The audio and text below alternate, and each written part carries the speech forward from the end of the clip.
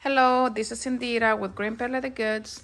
Um, I'm just showing you here some um, microwave bowls and plates that I finished uh, for tomorrow. Um, uh, these are so cute, like some duck, duck ones. Um, I have all these microwave plates right here.